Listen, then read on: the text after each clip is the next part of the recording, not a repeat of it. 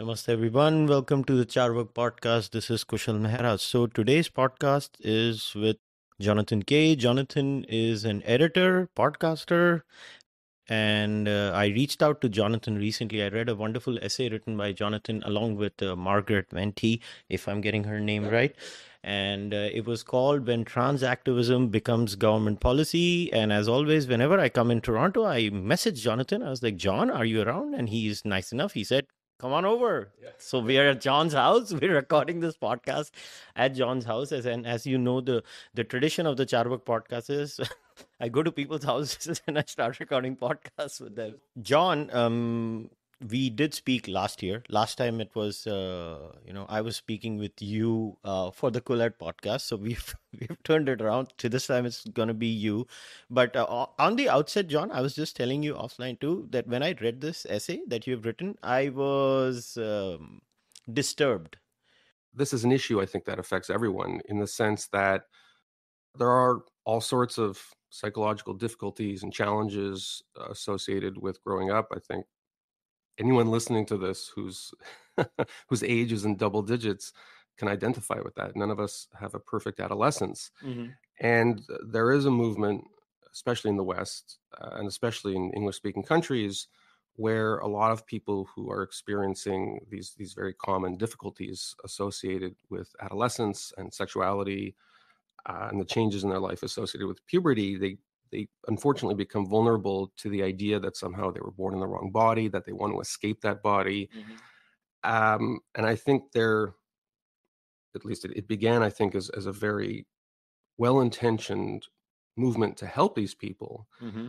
Uh, unfortunately, to a certain extent, in Canada especially, it's gone overboard. And now the activist campaign to encourage young people to express the difficulties they're facing in life as being born in the wrong body and requiring surgery and pills and in, in some cases surgically altering their body and even sterilizing themselves it, it has become a kind of in at least some subcultures in canada including unfortunately education it's become a very cultish movement and there's very little pushback in canada. I think in other countries especially the united states you see a kind of culture war between people who are extremely socially conservative and, mm-hmm. and, and, to my mind go too far they actually are transphobic um, in some cases yeah. but in canada there's really only one side of the debate that's been represented in any effective way and it's pushed the entire canadian educational and political and even media establishment in the direction of a kind of puritanical a movement that encourages young people to blame um, being born in the wrong body for many of the problems they face in life, and it's it's it's having tragic consequences. You know why it's very interesting is because in my culture, uh, as people uh, maybe most people don't know kinner. You know, kinners are an integral part of our culture. Okay. I'm not saying Indian culture does not have transphobes or anything of that sort. I'm not even making that claim, but you know, kinners are always around us. By the way, just because we're going to be cross posting this on the Quillette podcast. Can you just tell my listeners what what kinders are? So kinner, uh, uh, uh, I don't know what the English word would. Some people use the word eunuchs, or some people call them hermaphrodites in English. These are all very loaded. Terms. I mean, a eunuch is somebody who who a male who's has surgically removed their testicles. Yeah, but in this case, I think uh, some some uh, humans are just born uh, in, with certain uh, preconditions. Intersex? Uh, it, it, it's not even intersex. It's so it's so complicated that it's not even intersex. When I was going through the definition of uh, trans, uh, what what does it entail to be a transgender in India, and I and I started comparing it with you know what, the debates over here. I was like, wait, what are we fighting about? Uh, like in India, it was not even an issue. And India officially has recognized three genders since 1947 uh, as a democracy, as a civilization for 6,000 years. India always has. It's, it's a very normal thing in India. Okay. We have three genders in India male, female, and kinner. Okay. We call it kinner. And now the, the the basic difference between the West and India is India just kept on accepting subcategories under kinner. What percentage of the population self identifies as kinder? Kinner, I think it's not more than two to three percent. Two to three percent. Nothing more than that. Okay. And and if you look at government forms in India, you will always see male, female, and other. Okay. They will give you the option. And this has been a very normal thing since years in India, which is why, and when I find uh, the visceral reactions over here, I find it very fascinating as an Indian. But the problem is that when does a reality become a social contagion? Hmm. I- guess that's where the line has to be drawn, right? So, first of all, I should say that uh, Canada and other Western countries have, in recent decades, enacted laws to protect the legitimate rights of people who identify as transgender, making sure, for instance, that like you can't just be fired for your job from your job or thrown out of your apartment because you identify as trans. These are sort of what I would call normal liberal human rights policies, and and they're they're quite welcome. It was probably in the late 2010s that this issue started to really become a culture war flashpoint because that's when I think a lot of maybe culture critics would say it stopped becoming a normal liberal anti discrimination movement, which certainly people like me welcomed, and started to become more of an active means for people to expand the idea of gender dysphoria people stopped seeing it as something that should be accommodated in the same way as religion should be accommodated and race should be accommodated as a way to prevent discrimination against those groups. And it became more of a promoted means of explaining away a broad range of difficulties that people face in society people maybe suffering trauma people who are wrestling with their sexual orientation and maybe are looking for an alternative explanation for why they're attracted to people of the same sex. And you started to see the numbers explode. In particular, you started to see the numbers of trans identified people explode among uh, young female adults, teenagers, adolescents, often in clusters. Lisa Littman, who was a researcher who was then affiliated with Brown University, uh, did the first, published the first peer-reviewed research on what came to be known as ROGD, which rapid onset gender dysphoria, where you had groups of girls would suddenly all declare that they were were trans. That's not the only explanation for gender dysphoria. There are some people Mm-hmm. who really do suffer legitimate forms of gender dysphoria, and I think if it's persistent, they they certainly deserve access to therapies. Which I should say that some conservative Republican states they're trying to deny them that, which I don't think is the right policy. But as this social contagion started growing, so did the the idea that you're not allowed to talk about the social contagion because if you talk about it, it means you're less likely to support what came to be called affirmation. An affirmation is the idea that you just, when a child of whatever age comes forward and declares themselves to be transgender, you just automatically, reflexively affirm that self conception and proceed to therapies, which eventually often do in- include, unfortunately, dangerous pharmacological and surgical therapies that can result in horrible side effects and sterilization.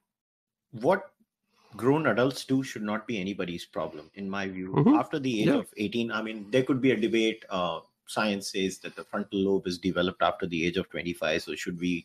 I mean, I'm just, You need to pick some legal. yeah. So, we Yeah, need fine. to pick some legal point. So, I mean, I'm personally fine with 18. Mhm. After what grown adults do with their body after the age of 18 is none of my business. But for the benefit of uh, Quillette uh, listeners, John, I do have the definition of a transgender, the legal definition of the transgender, as per the Transgender Protection of Rights Bill 2019. This is in India. yeah, Okay. by the Ministry of Social Justice and Welfare. There is a social justice ministry in India, in case people did not know. And it says this bill defines a transgender person as one whose gender does not match the gender assigned at birth. It includes, and this is where the the expansion comes.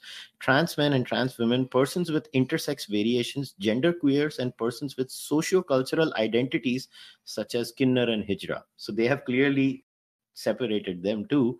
Intersex variations is defined to mean a person who at birth shows variation in his or her primary sexual characteristics external genitalia chromosomes or hormones from the normative standard of male or female body. So it's a very comprehensive definition. And this is India. And they have done it. And why this bill was done was basically you cannot now discriminate against any of these people in residence, in employment, in education, in healthcare. It, it sounds like a kind of standard anti discrimination law, yes. which is great. Just to be clear, I know very few people here in Canada who would object to that kind of legislation. I mean, we've had that kind of legislation in Canada for many years. It's and it wasn't particularly controversial, nor should it be controversial. What became controversial was when in the late 2010s, when what was originally an anti-discrimination movement felt more like a socio-political movement that some people felt had a recruitment aspect to it, um, where you had people in schools who were encouraging children to maybe blame a lot of their problems in life because everyone has problems um, on this phenomenon and it started to become embedded in government policy in a way that went beyond anti-discrimination. So i think it's very interesting that that india is up to date on this i think it's great. Liberal anti-discrimination laws are foundational building block of humane democratic society but what we're looking at, especially in Canada, goes goes beyond the kind of phenomenon that that kind of law, I believe, was designed to address. Okay, I got very confused with this paragraph in your essay where you said in 2022 Trudeau's government announced something called 2S LGBTQI plus action plan. Like the digits never end, first of all. Yeah. And and then it says which was described as a quote a whole of government approach to achieve a future where everyone in Canada is truly free to be who they are and love who they love. Now, what does this mean that if you're a kid and if you want to get a surgery, even if your parents don't consent to it, it will be allowed? I certainly don't think it's as simple as a child just showing up to a clinic. Although you have had child services official go after parents who were not willing to quote unquote affirm their child's belief that they were born in the wrong body which to me the idea of being born in the wrong body is, is a kind of religious idea. It's uh, um, almost like you want to exorcise spirits from your body and i that that's one of the reasons i object to some of the extremes in this movement because it does have religious overtones. It seems like almost like um ersatz religious faith. What many parents complain about and not just like religious christians and not just religious Muslims, although they've been at the the on, on the lead of this pushback, uh, but also many um, lesbian and gay activists who believe that this is a campaign that's homophobic. How? In the sense that you have in, in many many examples, you have a confused gay teenager who is being bullied because they're gay. To them, the way to resolve the cognitive dissonance and say, well, I'm really straight it's just I'm a straight person who's trapped in this gay body. Oh. And it becomes a way to reinvent yourself in a way that, you know, maybe now I won't be bullied. Maybe now I'll be a new person. Maybe those negative feelings belong to a person in the past, which is why you get this stigma against dead naming. Can you explain what dead naming is? So let's say I'm, my name is John Kay, and I say, no, my name isn't really John, it's uh, Brenda and anybody who calls me John is performing this hate hate crime because they're referring to this person in the past who no longer exists. I'm now female. Uh, when I was male, I was tortured and everything was horrible because the world didn't see me. I didn't see myself as I truly was. Um, it's it's kind of born again idea, right? Like referring to yourself, you know, as a pagan when really, you know, now I'm a Christian and don't talk about my pagan life. That's that's that's a horrible period of my life. I want to confine to the past. That's fascinating.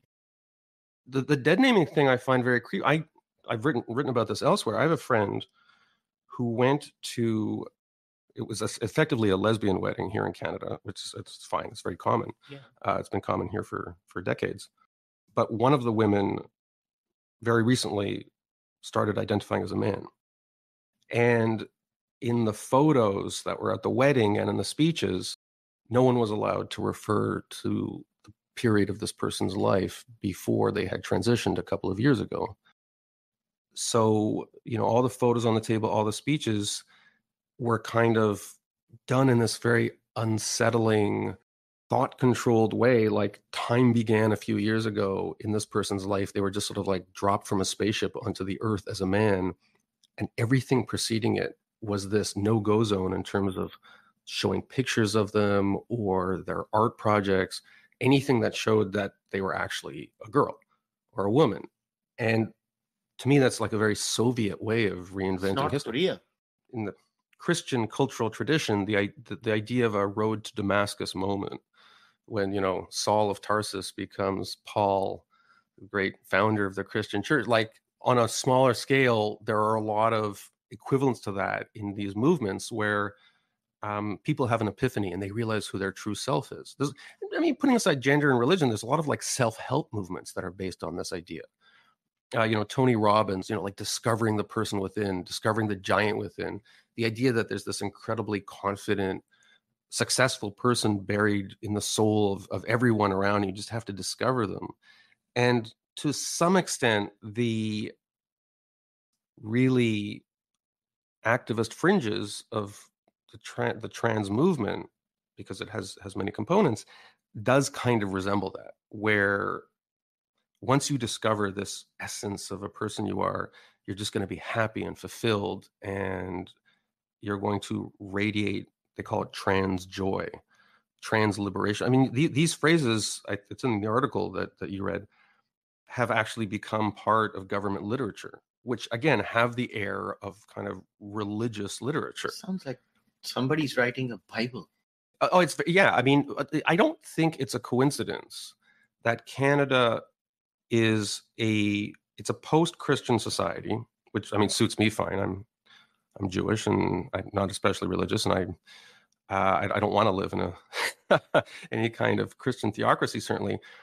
But there is a uh, to, to cite a phrase there's a god-shaped hole in the con- in the political consciousness of many canadians I want to talk about a it. lot of these Canadians you talk to, I mean, it's clear in some cases, like I actually know many of the most progressive Canadians I know, they grew up in religious Christian, at least culturally Christian families. Mhm. And at least on some subconscious level, they're looking for some kind of replacement for the articles of faith and the rituals. And, and it isn't just the gender stuff, you also get the land acknowledgments like, I am a settler, I am living on stolen lands. The sin that resides in my heart shall always stain my You legacy. Never give it back. and and also and also uh, the work of decontaminating my soul shall be the work of a lifetime. It shall never be complete. I shall disrupt my consciousness. I shall live in uncertainty and pain.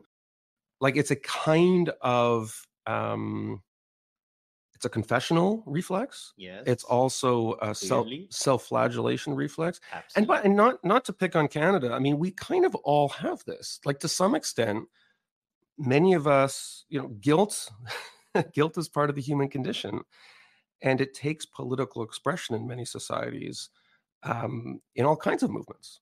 Um, in, in Canada right now, it's you know some of the gender stuff, but Mhm. every time someone says a land acknowledgement, again, very well intentioned, a lot of it, when I listen to it, um, you know, you kind of see the, the glassy eyed recitation of these things. It's like these people are a church. Um, these people are channeling some kind of cultural reflex they have. They don't quite know what to do with it because they don't go to church on Sunday. They don't go to confession. They have that reflex.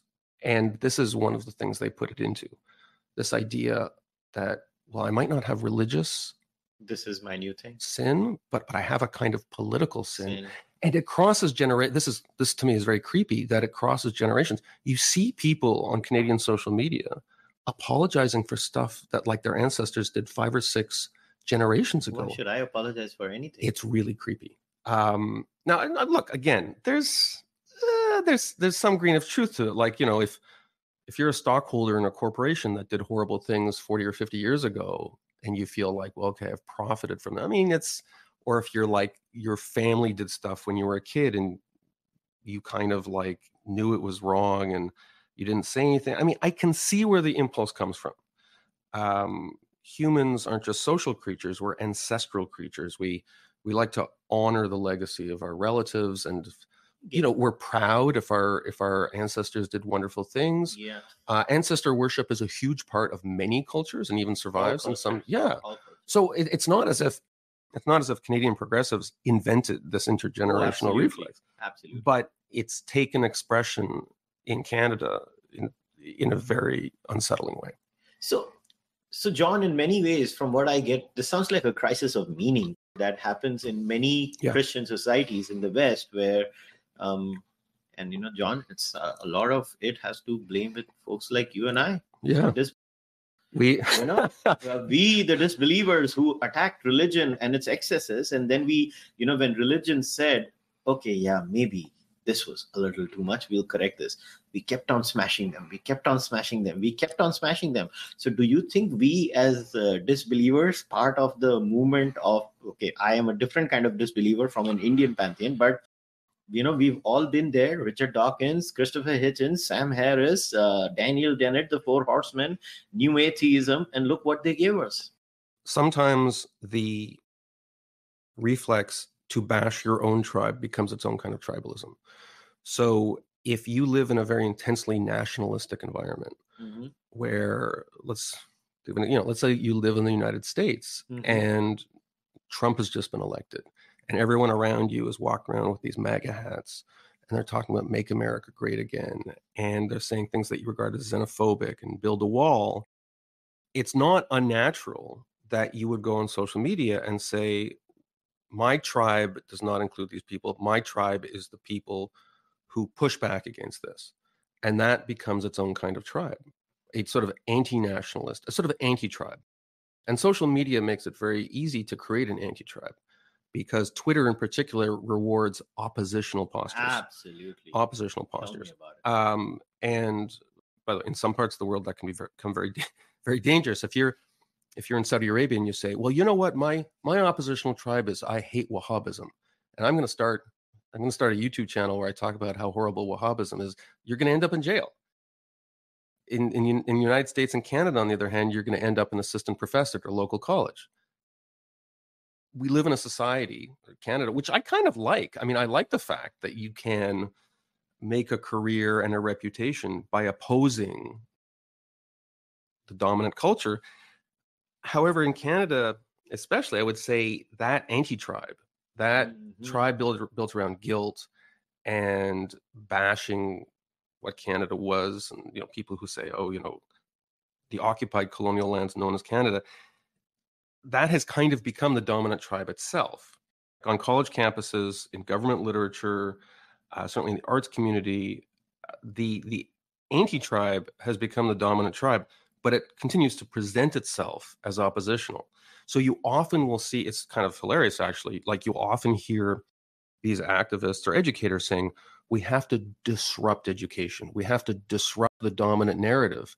Good. And I look at and I then I look at who's funding these organizations, and it's like the major banks, it's the Canadian government, it's the provincial government, it's the city government. It's so I was like, well, who are you going to disrupt? Like you, you know, your whole activist career is based on getting grants from every major institutional player in Canadian public life, including in many cases big publicly held corporations. Yeah. So the conceit that you're disrupting anything is wearing kind of thin because at least when it comes to the commanding heights of Canadian education, activism, media, um, a lot of people would say what needs disruption is kind of this incessant dogma that is is built around a kind of Canadian anti-tribalism. And I think there has to be a balance. Like I don't I don't want to live in a society where it's illegal or even highly stigmatized to criticize your culture or your government or Absolutely. or your history. Like Canada's done lots of terrible things. It's, it's like every country. Um, I would say maybe it's done. It's less blood soaked than, than most countries. But I also don't want to live in a society where talking endlessly about that, and more importantly, regarding it as a stain on your own personal ersatz religious soul, becomes its own kind of cult. And unfortunately, that's what a lot of Canadian public life has become uh, sort of rituals of self flagellation that channel this this movement because you see a lot of people some of the same people who say oh i'm a guilty settler living on stolen land and i shall Mm-hmm. forever work on reconciliation and they're often the same kind of people who will say uh, i'm a white ally who supports black lives matter and i will forever think about my white privilege and ways to erase myself from the white supremacist power structure and then they're also the same kind of people who are like i am a heteronormative cis straight person who is very conscious of my privilege and endeavors on a daily basis to help trans people and non-binary people navigate this intensely phobic society we live in. A lot of these ideas are fungible. It's kind of the same movement. It just projects itself on different aspects of, of the human condition So I, I have an outsider's perspective to this country. I just look at it, observe, talk to people. And like I was with my friends and you know, I was like, why does everything about have to be about either white aggression or white guilt? I, I actually asked this to my it's friends. actually incredibly narcissistic by white people is they think that people who aren't white go around thinking all day about what white people think about them yeah. which they don't yeah and and it's it's it, it and i could see it as an outsider but i did not like i would hear my friends they would constantly self-flagellate on facebook. I had to unfollow some of them. I could not take their self-flagellation. I'm like just stop. I yeah, so I for me that was do you remember a couple of years ago there was that horrible Islamophobic attack in Christchurch, New Zealand? yes. Horrible thing and it was just I mean it was, there was the the guy put it on Facebook and I mean it was just a horrible horrible horrible thing. yes.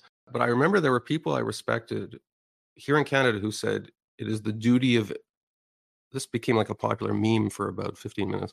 It is the duty of every white person in Canada to reflect on the white supremacist culture that allowed this to happen.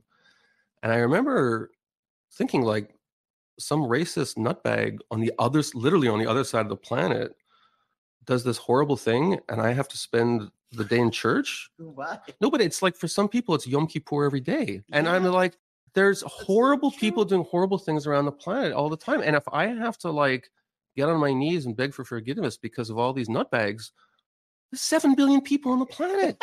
like a lot of them are nutbags and a lot of them are white and a lot of them are male and a lot of them are straight. So I'm not going to apologize for stuff that every member of that group Yeah, does. Like it's, so just, true.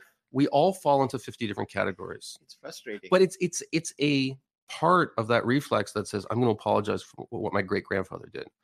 The fact that this guy's white and living in new zealand i don't know this guy. I mean yeah he's a horrible horrible person and it became very difficult because you know what? So as you and i are one of the reasons we're friends is we both like to laugh and tell jokes and yeah. and and see life in a funny way. But once that person posts that thing on facebook and and everyone in the comments is required to say yes you know i'm in i'm in you know um immediately it destroys my capacity to bond with that person in, in a kind of real intellectual way which requires an allowance of context of irony of satire. It's not something i can even put because it would be seen as so insulting as like you know get off your get off your knees like you know you want to make the world better go volunteer at your local food bank you know Yeah. sitting here reciting prayers about your your the white stain on your soul is it's not going to help the victims in, in new zealand which by the way i know people live in new zealand it's a very enlightened liberal society like the idea that it's a white supremacist society is, is, is ridiculous there are there are criminals in every society and if we define ourselves according to the worst specimens of humanity what does that do to public debate? It's like i mean it's it's, it's no better than defining ourselves by reference to the saints and martyrs of our society exactly. and saying like well you know I, i'm so proud to be a white person because of like this heroic thing that this white guy did the other day. Like i would never it'd be crazy to think that but much in the same way i'm not going to think wow i really have to work on my racism because some nutbag in new zealand did this. Like it's it would be crazy everyone would know it's crazy to think of the positive example of that we should also think of it as crazy in terms of the negative example of that Yeah. You know, I have gone through the whole process of being someone who had faith, then lost his faith, then who went into the phase of the ultra hyper patriot uh, phase, and I I have lost all of that too. That's why I, I'm just all over the. when you say hyper patriot you mean like Indian My country is amazing. Okay. I, mean, I, don't think India is bad or anything. I live there by It's done some pretty incredible things. Yeah, I, I live there by choice, not by compulsion. Uh, I, I have the choice. I've been married to a Canadian, but uh, I could have moved to Canada anytime I wanted to, but I still stay there. My country has problems, uh, like any other country, uh, in some cases more. I've just lost that maybe a, a movement of tribalism in my brain. It's not that I'm a globalist or of any kind. I still believe in nation states. I believe in boundaries. I believe the idea of a nation state still makes sense from a governance perspective not from any other perspective i think it's easier to govern when you have nation states you and especially in a neighborhood like india which has pakistan as a neighbor a very hostile neighbor so we, we need this Oppositional geopolitics can sustain national tribalisms because if you always have to be on guard against, you know, if you're if you're in South Korea and you're on guard against North Korea, Pakistan, India, Russia, Ukraine, uh, for many years, Canada, United States, there was like this fear of cultural takeover of Canada by the United States. So these kind of oppositional geopolitical contexts can sustain nationalism as a tribalizing force. yes Right now in Canada, I mean, Canada doesn't have a Pakistan. Canada doesn't have a North Korea. And even the United States, like Canada used to have a nationalism that was based on a kind of cultural fear of Mhm. US takeover. That's been destroyed by social media because Canadian progressives now feel this sense of kinship with American progressives, and American conservatives and Canadian conservatives now feel this kinship. So social media has caused like a vertical sort of tribalism along ideological lines, as opposed to the horizontal tribalism that you saw at the, at the Canadian Canada U.S. border. So as a result, this is one of the reasons that that Canadian progressives have gone so loopy is they don't just have a god-shaped hole in their brain they have an anti-american shaped hole in their brain because the entire progressive canadian establishment uh, during the cold late cold war period even very early 2000s when i started work as a journalist um, had a i would say well-founded fear that canada's this tiny country and we're going to get swallowed up by American sitcoms and American singers and American politics and American trade and they're going to swamp our market with their products and you know uh, no one's going to watch our TV shows and no one's going to no one's going to read our authors. Um, and so this whole idea of cultural protectionism although I I thought a lot of this was was overwrought at the very least it had the benefit of creating a kind of bonding idea within Canadian intellectual circles that say, well, you know, we stand for something. We are we we're beleaguered by the United States, and we have to take steps to protect this identity. And it's a positive identity. Being Canadian was seen as this kind and gentle Yeah. thing. Pacifism, multilateralism.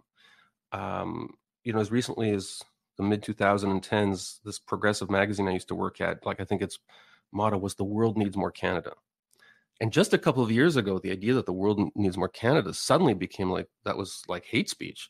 It's like the world needs more Canada. It's like the world needs more genocide. Like it because such a decent society canada it's a wonderful society, but in the late 2010s, there was this very sudden and abrupt phase shift among Canadian progressives where it went from Canada is a light unto other nations in regard to pacifism and multilateralism, as opposed to the United States, which was all, you know, we, we had a, a thicker social safety net and there was a lot of pride. And in the space of just a few years, that was just inverted on itself, large part, not entirely because of social media, but that was a big factor.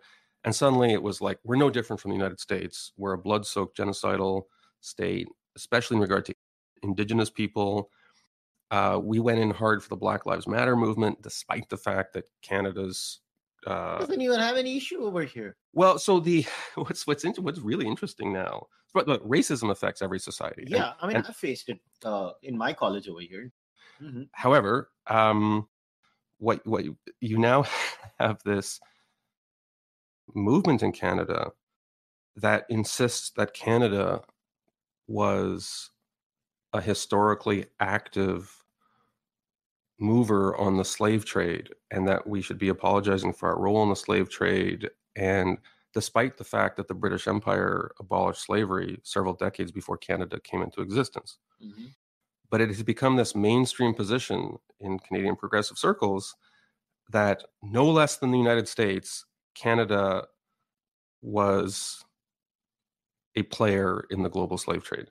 It is completely ahistorical, but if you point out the fact that Canada came into existence several decades after the British Empire abolished slavery, you're shouted down as being some kind of denier of Canada's historical crimes.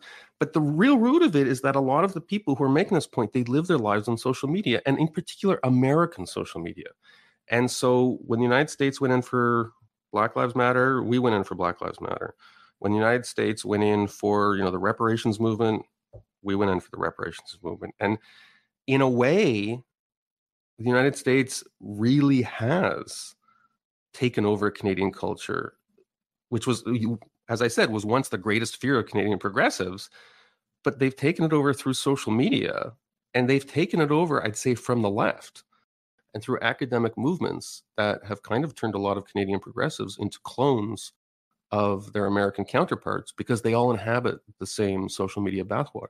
Like I remember Justin Trudeau doing his performative uh, song and dance for Black Lives Matters very clearly. Oh, he went down on one knee. Yeah, he went down on one knee, yeah. and uh, and uh, he just announced that he's coming for the G20 summit to India. I just hope he doesn't dance like a Bollywood star. He's not going to do that again. John. He's definitely not. No, hundred percent. He's not. He's going. You know what? He's going to be a suit and tie, and he's going to get off the plane. And I guarantee if somebody plays some music, you'll see his body start to twitch, but he'll he'll control it. He'll be like, no, like i don't even understand this bit in your article where you said trudeau's 2022 action plan instructed canadians to adopt a term 2slg 2slgbtqi yeah, yeah. plus instead of lgbt what what the hell is 2s now? The 2s is a term that was invented in the late 20th century. It means two spirit and two spirit became this umbrella term to indicate indigenous conceptions of other genders, sexual orientations. The term can't really be defined. In fact, I cited in the article there was this an Ontario Teachers Union wrote a big report, spent a year trying to figure out what the definition of 2S is. Mm. They admitted in the report that we can't figure out what 2S means, but you to be 2S, all we know is that to be 2S, you have to be indigenous and anti-colonial. I'm like, wait a sec. You can't even tell me if it's a gender identity or a sexual orientation, but you are telling me that you have to have a certain kind of political attitude to qualify for it. And again, this was an Ontario teachers union that spent a year looking at the issue. Like the document they produced, which I read and I, I cited in this article, was supposed to favor the use of the 2S term. Like they were trying to support it, but they couldn't figure out how to define it. And what's happened is the term 2S, first of all, it's kind of completely reductionist. Like Canada was inhabited by by hundreds of different indigenous societies before European contact.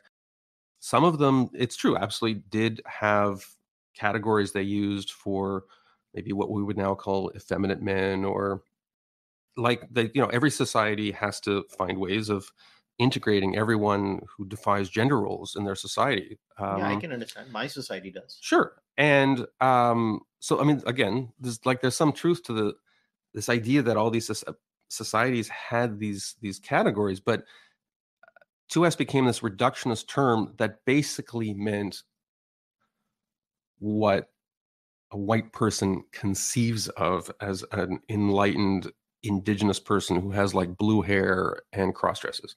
Like that's kind of in the Canadian arts and activism community.